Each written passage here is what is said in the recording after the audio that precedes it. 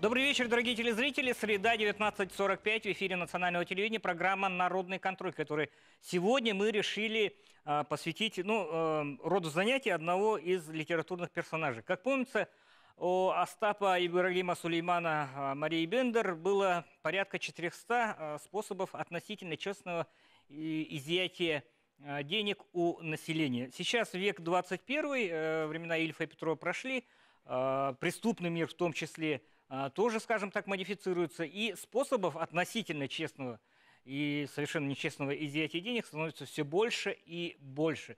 А, Чего же достигли, достигли а, сподвижники, а, последователи а, Остапа Бендера, а, э, с чего следует бояться, чего остерегаться, на что обращать в первую очередь внимание, об этом мы поговорим сегодня в программе «Народный контроль», который посвящен различным видам мошенничества.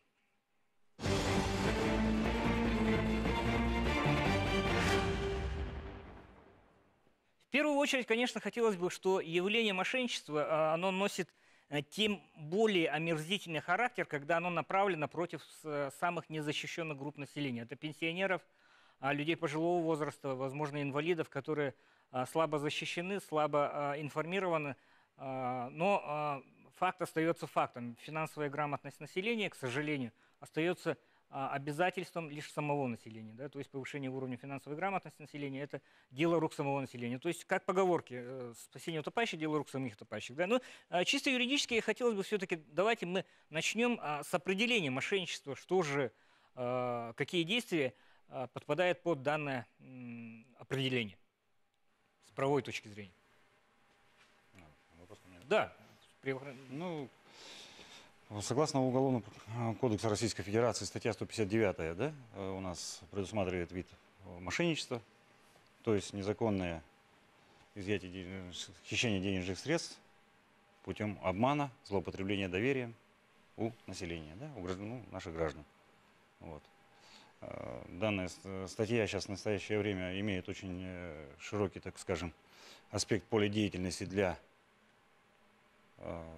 преступных элементов, которые ну, в последнее время очень э, изощренно пользуются вот, различными видами мошенничества, э, обманывая наше население, изымают у них таким образом денежные средства. Ну, время, когда а, преступник и жертва, они а, встречались, скажем так, глаз к глазу, лицом к лицу, Ну, да. они уже давно прошли, да? То есть можно дистанционно абсолютно сидеть Конечно. и накалывать население, да? Да, да, это дистанционные виды. Сейчас преобладают дистанционные виды мошенничества, да, которые используются с использованием э, различных технологий, да, новых, которые э, компьютерных технологий, скажем так, использованием мобильных средств связи. И такие виды мошенничества, конечно, они м, э, это довольно-таки новый все-таки, да, способ совершения преступления. Вроде статья одна, а способов-то много. Поэтому в этой связи получается, что э, раскрывать, конечно, такие виды преступлений, именно вот мошенничество, маленько в настоящее время еще остается сложным, но все-таки мы эту работу проводим. Проводим, пытаемся, есть определенные э, положительные моменты, но, конечно, перестраиваться приходится нам в нынешнем времени с учетом вот этих всех э, технологий, так скажем. Ну, проводим работу определенную. Но, конечно, наше население, оно в первую очередь должно само себя оберегать, оберегать от этих вот э, мошенничеств, которые к ним э, разного рода пытаются э, преступники войти в доверие, да, как я уже выше сказал, различными способами дистанционного вот этого влияния на граждан. И не вестись на поводу у них. Короче, э, можно перефразируя, э, не будьте, э, скажем так, потенциальным потерпевшим. Да, это абсолютно правильно, абсолютно правильно, потому что, ну, э, как показывает вот... Давайте э, мы покажем вот этот удивительный документ, да, на Да, самом деле. Я попрошу операторов э, максимально увеличить.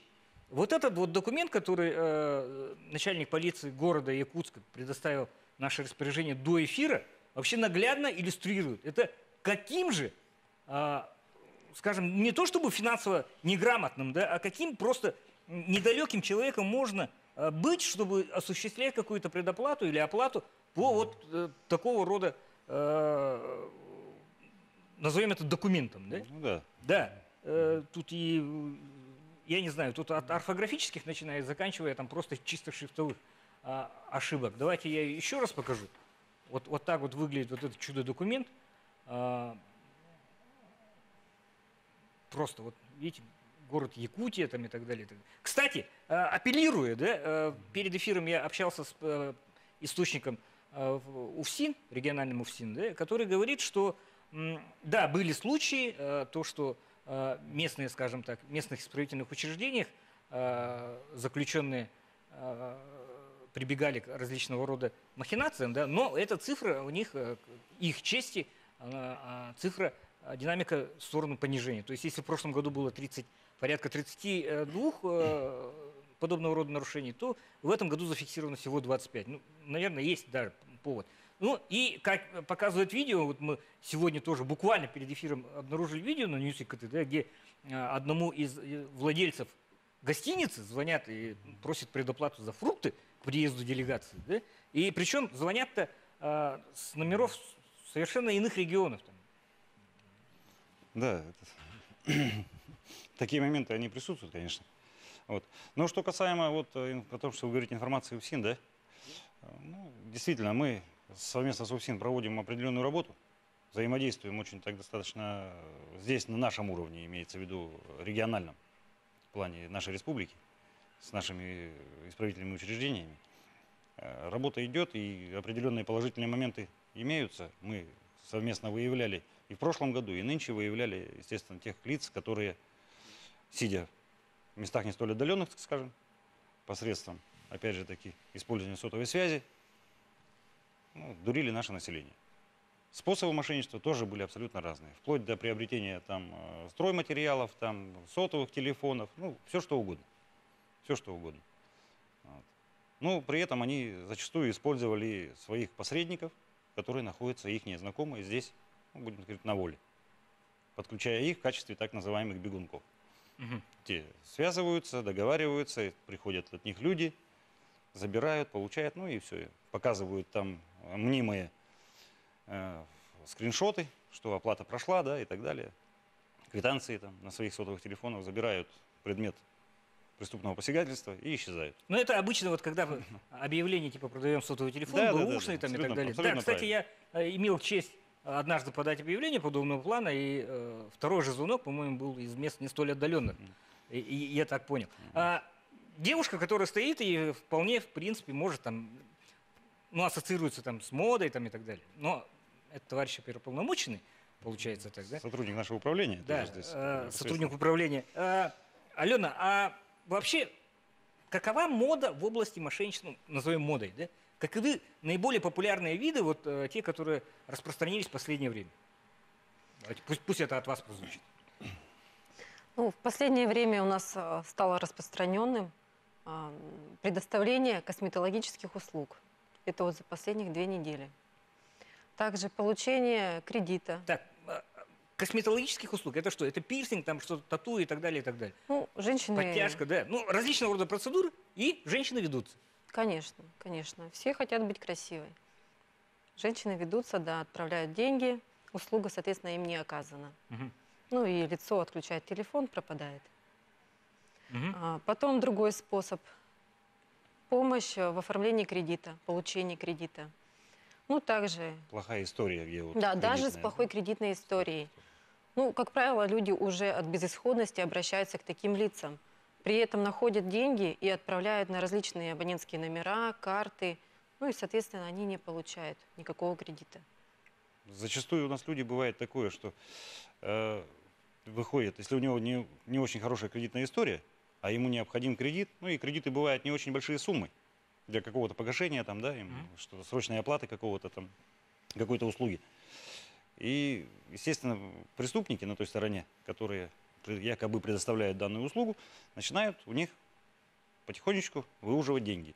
Отправьте, значит, страховку столько-то, отправьте столько-то для того, чтобы получить. Ну и зачастую бывает так, что вот эта сумма, которую люди отправляют, она даже может превышать этот кредит, который они хотят получить. Ну, просто люди как-то недопонимают этих вещей, что ли это, что их начинают потихоньку-потихоньку разводить. А они все равно продолжают отправлять денежные средства. Хотя уже Кредит был не нужен, наверное, да? Можно было оплатить, если что-то они хотели оплатить. А они деньги переводят. Ну, ну, этим мошенникам. Душа человеческая вообще потемки. Я потемки, еще раз да, говорю, не только вот, а в части, ну, это хорошо очень, кстати, что есть Сбербанк онлайн, да, и что есть другие э, мобильные приложения, по которым можно осуществлять различного рода транзакции.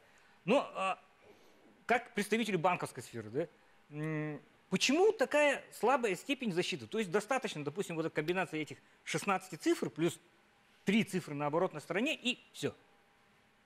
И вы можете лишиться ваших, скажем так, сбережений. Ну, а, добрый вечер. А, сейчас вы в данный момент говорите об оплате, а, видимо, в сети в интернет. Здесь совет от нас такой, что покупки желательно совершать на сайтах, которые верифицированы платежными системами Visa или MasterCard. Как бы а как распознать? Ну, обычно у них э, там в разных частях на сайте есть иконка, там Verified by Visa или MasterCard. Угу. Ну и это всем известные сайты, наверняка там многие пользовались, там Amazon.ru, как бы э, огромные индустрии, которые достаточно э, популярны и они защищены. Что касается Сбербанк онлайн, сегодня это единственное банковское приложение, которое, в которое встроен антивирус. И клиенты Сбербанка, скачав это приложение, получают э, антивирусы, получают не только защиту э, банковского приложения, но и э, защиту от любых других вирусов, Всего которые смартфон. могут быть да, ну, актуально для платформы Android. Угу. Вот, ну, как бы у iOS немного другая степень защиты, там антивирус не требуется. Поэтому здесь мы рекомендуем быть бдительными и не допускать компрометации одноразовых паролей, если вы ими пользуетесь для входа Э, в личный кабинет, э, не сообщать э, никакие кодовые слова и CVV-код, который написан на обратной стороне карты. И ну, соблюдая простые правила, такие высокая вероятность, что вы не станете жертвой мошенников, которым наверняка легче там, переключиться на более доверчивую жертву и оставить вас в покое. Николай Владимирович, есть, ну, я, к примеру, знаю, да, что совершая любые, скажем так, действия в интернете с, с использованием банковской карты, я оставляю в любом случае следы. Да? И э, э, эту, скажем так, субинформацию, эту, э, эти следы может э, умелый человек при э, умелом обращении просто собрать, э, и не только у меня, у тысяч, чем, э, кстати, прославились вот эти. А, э, элементарные правила, скажем так, безопасного э, использования банковских карт в интернете. Вот давайте сузим немножко и что-то почищать может, истории какие-то, кэш ну, почищать? Ну, нет, здесь э, то, о чем я уже сказал, это пользоваться э, сертифицированными, да, верифицированными сайтами. Э, можно завести дополнительную карту, отдельную для покупок в интернете. То есть зарплату там получаем на одну карту, совершаем покупки совершенно с другой карты, переводим только ту сумму, на которую планируем покупку. И, ну, как бы понятно, что лучше э, эти сайты и прочие э, платформы сохранить у себя в истории для того, чтобы не было никакого подлога. Там фишинговые сайты э, различные популярные, которые полностью копируют, скажем, главную страницу, да, интерфейс сайта, и неопытный либо пользователь, который не часто совершает покупки, легко спутать, и он может ввести те же самые данные на этом сайте. Но в таком случае он будет защищен тем, что на его, этой, скажем так, специальной карте будет сумма только необходимая для покупки, и уже другие средства э, будут недоступны для хищения. А что делать, если все-таки данные моей карты, они попали в руки злоумышленников? Ну, э, помимо, блокировать, это, это понятно. Ну, понятно, что блокировать. Здесь помимо того, что мы призываем как бы, здесь все присутствующие клиентов быть бдительными, в Сбербанке есть еще система фрод-мониторинга, которая э, мониторит, скажем так, подозрительные операции. Для примера, там, если вы, э, как вы говорите, там, э, например, пенсионер и и в вашем э, поведении никогда не было очень частых запросов баланса или покупок в интернете на определенных сайтах, или резкие неожиданные переводы в другие регионы, в данном случае вот с помощью системы фрод-мониторинга э, служб безопасности ваша карта будет блокирована, операции по ней приостановлены, после этого э, вам потребуется связаться с колл-центром и как бы подтвердить себя и разблокировать. Знаете, как это нервирует? Ну, на самом деле это, наверное, на пользу дела. Да? Ну, а, пусть да. это будет, скажем так, не всегда оправдано, но а, полезно однозначно. Полезно однозначно. А, следующий наш спикер, а, в принципе, я знаю, что Мегафон проводит очень большую работу по, как раз по повышению у, уровня грамотности населения в области там, мобильного того же, мобильной безопасности. Да? Давайте вот э, ваше видение проблемы и что вы э, предлагаете, скажем так, для, ну, кроме так, давайте участвовать в наших круглых столах и так далее, угу. конкретный, Александр Владимирович? А, Ну, что предлагает Мегафон? Тут надо отдавать себе отчет, что Мегафон в данной ситуации выступает скорее инструментом мошенничества. Да? То есть э, э, вот точно так же, как вы показывали, Дмитрий, вот этот договор замечательный, который был подписан ручкой. Да? Но нельзя же ручку обвинять в том, что она стала виновником вот, э, совершения мошеннических действий. Да? Э, на самом деле э, нужно понимать, что оператор связи э, дает инструмент, инструмент доступа к банковскому счету, да, то есть технологию беспроводного доступа, инструмент связи с другим человеком. И в данной ситуации мы, э, с одной стороны, вроде бы не должны вообще никак участвовать в таких вот ситуациях, когда ну, действительно людей обманывают. Но, с другой стороны, мы понимаем, что с использованием наших услуг все больше и больше, как уже подчеркнули коллеги из органов внутренних дел, происходит мошеннических действий. Что делаем мы? Ну, во-первых, у нас точно так же работает э, очень серьезная система э, фильтрации, мониторинга тех самых пресловутых смс-сообщений, которые зачастую являются ну, предпосылкой к совершению мошеннических действий. Так чтобы было понимание о масштабах, э, Мегафон в год э, фильтрует и не доставляет абонентам больше миллиарда смс-сообщений, которые попадают так или иначе под наши критерии фрода и, соответственно, мошенничества. Э, соответственно, мы предоставляем абонентам достаточно большой спектр информации. Мы на, на собственном сайте, так же как коллеги из банковской сферы, постоянно указываем те действия, которые могут быть для абонента показателем мошенничества. Мы, э, соответственно, предлагаем сервисы, э, ну, скажем так, противодействия мошенничеству, даже в том случае, если уже человек э, столкнулся с такой ситуацией. То есть мы предоставляем бесплатные номера, куда можно отправить просто ну, то же самое мошенническое смс-сообщение, допустим, абсолютно бесплатный номер. Мы, кстати, постарались его сделать интуитивно понятным, так и выглядит 1911, да, то есть номер такой спасения от обмана.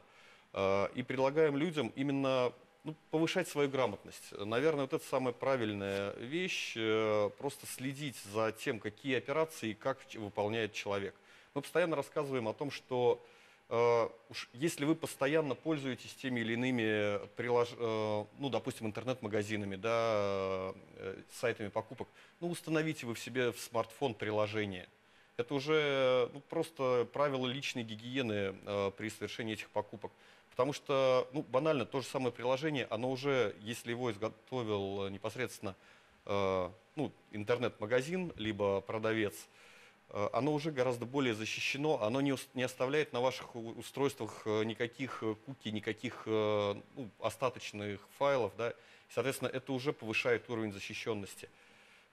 И таких вот маркеров, их достаточно много. Но на самом деле большая часть работы, которую мы проводим, это то же самое информирование. Информирование, информирование, еще раз информирование.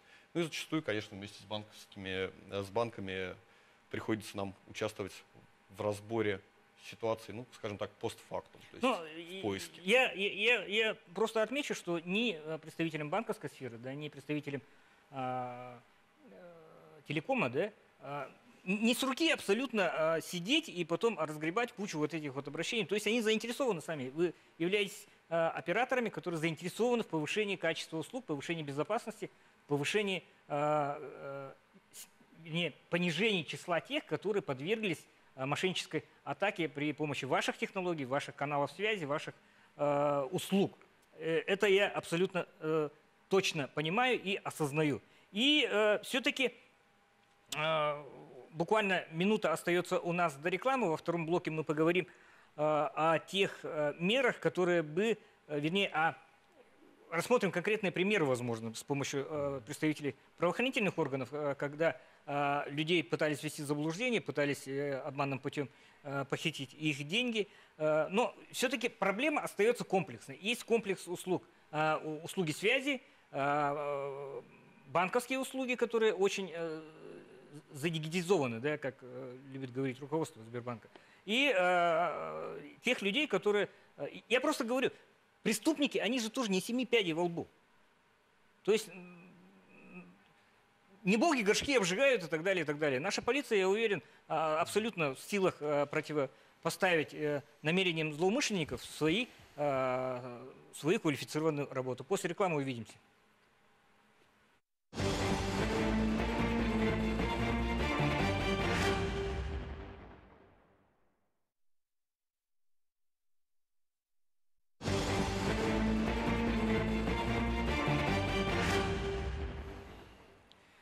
Прежде чем перейти во второй части к нашему, а, скажем так, хит-параду, рейтингу, скажем, вот этих вот продолжений 400 способов относительно честного изъема, э, изъятия, изъема денег у населения, я бы э, к Александру Костерину. Э, преступники научились а, подменять номера. То есть вроде приходит номер 8800, там и дальше ну, сложная комбинация. Да? И начинается разводилово. Угу. Прокомментируйте ну, смотрите, да, сейчас... 8800. Э, То есть мы же абсолютно привыкли уже в своем сознании, что если угу. мы звоним на э, вот этот канал 8800, то это абсолютно угу. белый звонок и так далее. Ну, вопрос понятен. Да, смотрите, сейчас, э, в принципе, ну, можно сказать, что общедоступным становится телекоммуникационное оборудование, которое действительно может подменять вот ту самую маску номера, которая передается дальше по сетям связи и отображается на экране телефона. Ведь э, когда Э, вы видите номер, который отображается у вас на экране, это не мы определили этот номер, да, это станция другого оператора передала нам определенный параметр, да, и мы этот параметр транслировали вам на телефон, условно так, вот, если То упрощенно есть говорить. чистой воды не виновен, да? Вот, и в принципе, вы же обращали внимание, на самом деле и э, абсолютно взрослые серьезные компании тоже иногда используют такие вещи, ну, допустим, обрезают номер для того, чтобы, когда вам звонит э, ну, допустим, консультант из контактного центра какой-нибудь компании, угу. допустим, предложить вам абсолютно легальную коммерческую услугу, просто для того, чтобы вы не могли перезвонить на этот номер, ну и, соответственно, не забивали контакт-центр э, лишними обращениями. Э, ну, это, професси это профессиональное оборудование контакт-центров, но такое же оборудование, на самом деле, более простое, но с тем же функционалом, оно сейчас действительно доступно ну, практически любому обывателю, который готов расстаться там, с суммой там, с, э, с пятью-там, шестью нулями, да, после единички. Вот. Ну и, собственно, да, это возможно. И тут что рекомендуется? Ну, наверное, тоже абсолютно такие простые правила. Э, ну, во-первых, халявы не бывает, да? То есть вот надо просто Согласен, это запомнить. Да, да. Если вам предлагают что-то, что вот в соседней двери стоит 100 рублей за 2 рубля, ну, надо, наверное, задуматься о том, о, вот, с чего вдруг такой бонус судьба мне преподнести решила. Э, это раз. Два, э, если обращаются от имени известной компании, то если уж вас это предложение очень заинтересовало, вам обязательно оставят контактные данные. То есть ни одна компания не ставит себе целью э, совершить мгновенную продажу, и если человеку нужно время на раздумье, то не предоставить ему этого времени для перепроверки информации. Это тоже коллеги из правоохранительных органов подтвердят одна из первых целей мошенников как можно быстрее э, втянуть человека в процесс и не давать ему из него выйти до того момента, как он не расстанется с деньгами. Вот ни одна серьезная компания никогда этого не сделает. Поэтому проверьте. Если вас заинтересовала информация, которую вам предлагают, запишите ее, повесьте трубку, проверьте, что вам дали корректные контактные данные именно той компании, от имени которой вам звонили – Э, найдите в интернете номер контактного центра этой компании, перезвоните в него и спросите, а действительно ли проводится такая акция? Действительно ли разыгрывается вот этот автомобиль, вот эта квартира, и действительно ли э, вы, как человек, к которому обращается компания, ну, вот попадаете под критерии этой акции? Ну, вот самые простые вещи. Самые простые. Хорошо, спасибо, Александр. Годик назад э, много было информации про неких молодых людей, которые ходили по квартирам, э, представлялись сотрудниками э, фонда развития там, пенсионных услуг или чего-то типа такого, и спрашивали номер паспорта и номер снился. Да? Было такое. То есть вот эти данные, они являются ли, могут ли, допустим, заполучив вот эти данные, люди от моего имени оформить кредит там, и так далее, и так далее?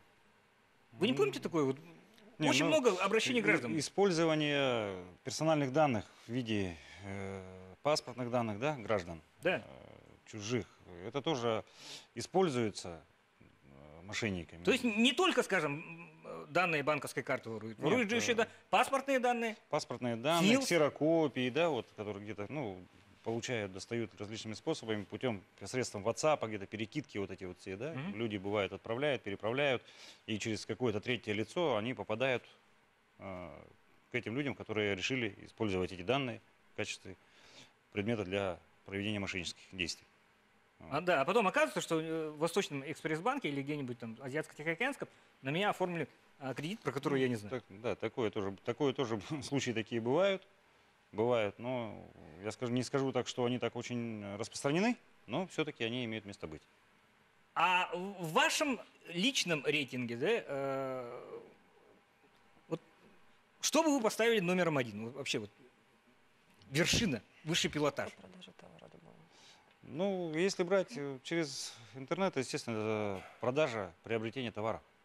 Товаров, которые люди, не вот уже о чем было коллега сказал, да, многое вот как проверяют. Проверять надо все-таки эти компании, которые реализуют те или иные товары, действительно ли они реализуют. Потому что у нас э, в сети интернет очень много различных сайтов, которые являются мошенническими. мошенническими. И люди используют э, сразу же опять же таки слово прозвучало до этого, и я тоже хочу все-таки его озвучить, это слово халява для нашего, наших людей. Чем дешевле товар, картинка красивая, да, характеристики вроде бы замечательные, а цена вопроса стоит в разы ниже. Вот на этих сайтах, которые распространяются. Ну и наше население оно зачастую клюет на эти уловки, сразу же перечисляя денежные средства, и, естественно, остается без ничего, без денег, без товара. Да? Вот. Поэтому и все-таки я предполаг, ну, предлагаю в этой связи гражданам-то э, больше пользоваться, стараться пользоваться все-таки наложенными платежами. Это тоже один из таких видов, что уже ну, при получении товара, да, при вскрытии его на, на почте, можно будет убедиться, что товар действительно тот соответствует и поступил.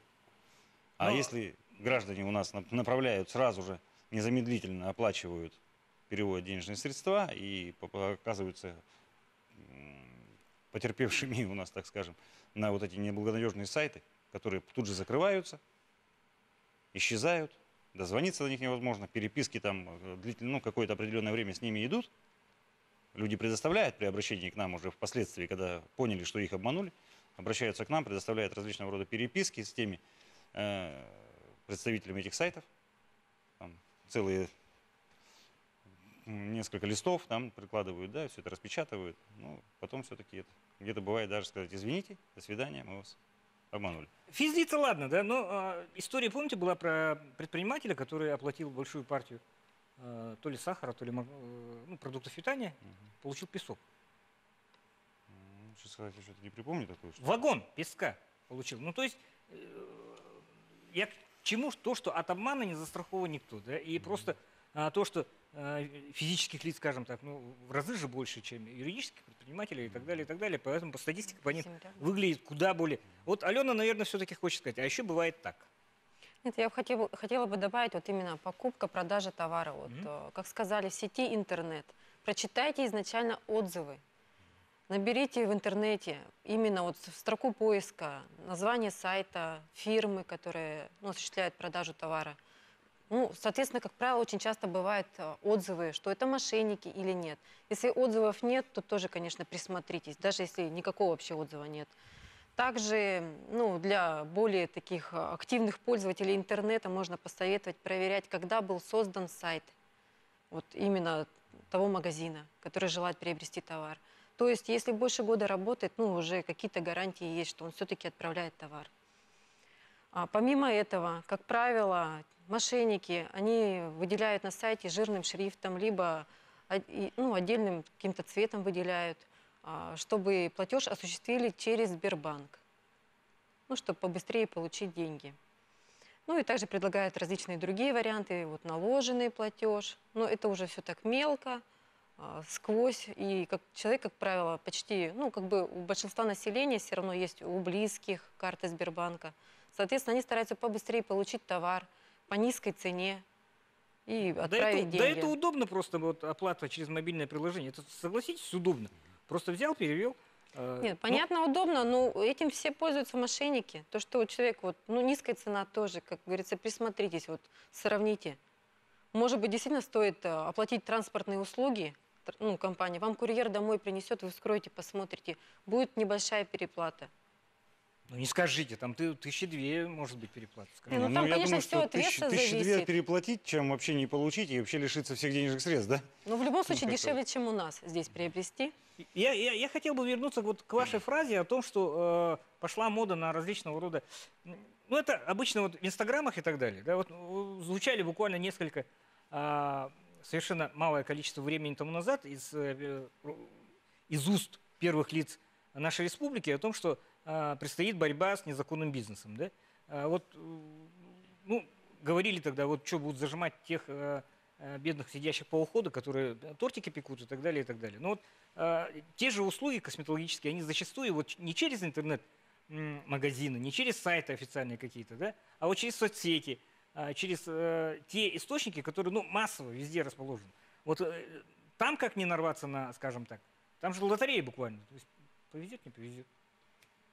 Да, как правило, действительно, правильно вы говорите, это вот в социальных сетях, вот э, в Инстаграме, ВКонтакте очень распространенно. Там множество магазинов, выбирают люди товар, отправляют деньги и ждут. А, Соответственно, проверить точно так же. Только отзывы, ну, как говорится, это как лотерейный билет.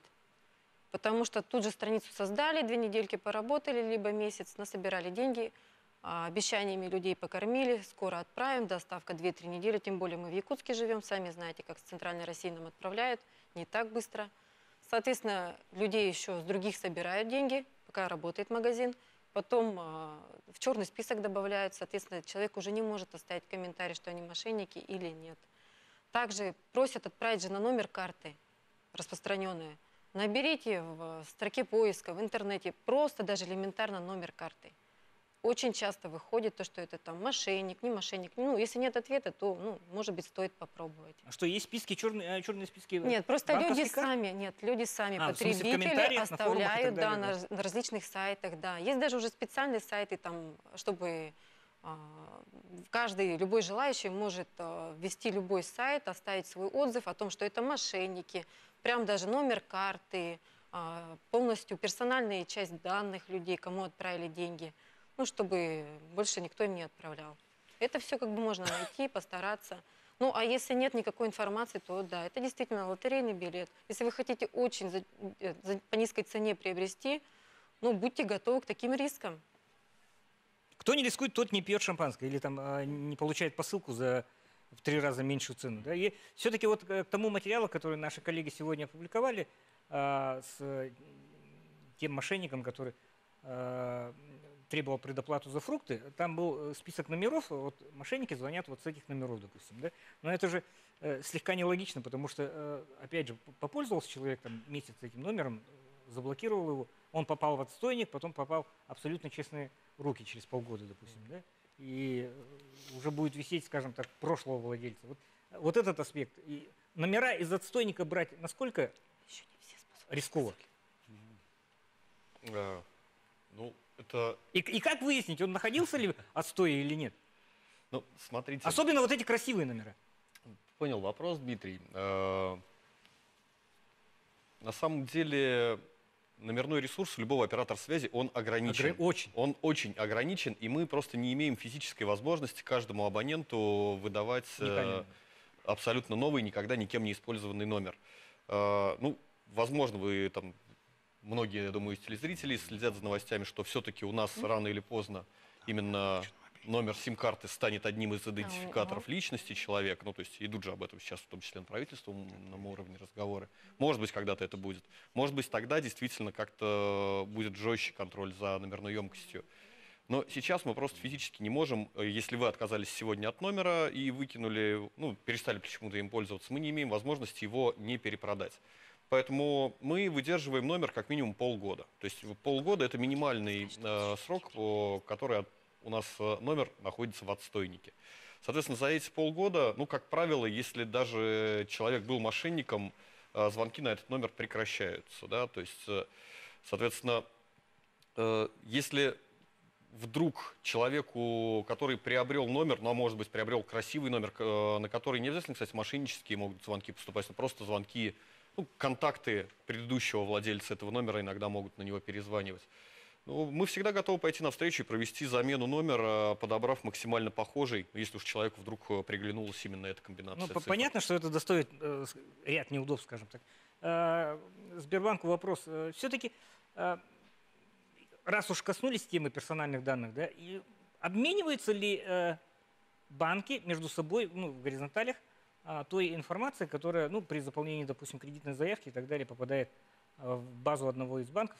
Почему звонят с других банков и предлагают? Или это Ну, совершенно другие данные? Да, это совершенно другие данные. Банки не обмениваются. Есть бюро кредитных э, историй, база, да, где э, хранятся там э, различные данные. Но если идет э, э, расследование по какому-то уголовному делу, то банки, в числе Сбербанк, конечно, сотрудничают и с мобильными операторами, и с правоохранительными органами для расследования инцидентов. Мгм. То есть э, посреднич... вернее, э, промежуточное звено – это бюро кредитных историй, из которого э, информацию теоретически возможно ли, чтобы злоум- злоумышленники из бюро кредитных историй взломали и похитили данные? Я Теоретически. думаю, я думаю, что нет, потому что э, наверняка э, система шифрования и прочая защита применяется, потому что этой системой пользуются не только там Сбербанк, а все банки и все финансовые институты страны. Поэтому как бы защита, я уверен, на уровне. Мгм. А база номеров, она плавает где-нибудь? Ну, назовем это базой номеров. Как Ну, представитель оператора, вы вообще допускаете теоретически такую возможность? Э, Со стороны оператора нет. У нас, э, ну да, действительно, выявлялись случаи, когда недобросовестные партнеры, скажем так, могли распространять информацию. контент-менеджеры, э, Скажем, да? Вот, но не- со стороны оператора у нас э, защита персональных данных находится ну, на уровне не ниже банковского, поэтому мы этому уделяем очень большое внимание. Со стороны оператора утечка, конечно же, невозможна. Мгм. Ну, остается подытожить, то есть э, лишь от э, самого человека, от самого гражданина зависит э, от его эм, осведомленности, подготовки, а, от его интуиции, возможно, да, э, от его э, познаний в определенной сфере, как, обращение, будь то оно сделано там, через интернет, через мобильную связь, через другие каналы, несет ли оно себе потенциальную угрозу мошенничеству. И вообще вот эти виды мошенничества, которые э, осуществляются посредством интернета, различных интернет-сайтов, социальных сетей, э, смс-услуг, контент-менеджеров, там тоже могут быть мошенники, которые э, не предупреждают о том, что услуга платная, допустим, и это можно трактовать совершенно по-разному. Да? И еще раз, повышайте свою грамотность. Только от вас в первую очередь, дорогие бабушки и дедушки, только от вас зависит, правильно ли вы будете обращаться с теми данными, которые, и носителем которых вы являетесь. Это и данные по банковской карте, это данные, персональные данные, это и а, различные другие данные, которые а, могут потенциально, а, попав в руки злоумышленников, а, послужить э, тому, что ваши сбережения, которые хранятся либо на банковском счете, либо на телефонном счете, либо где-нибудь еще, либо вы сами куда-то их отдадите, а, будут целы. Увидимся.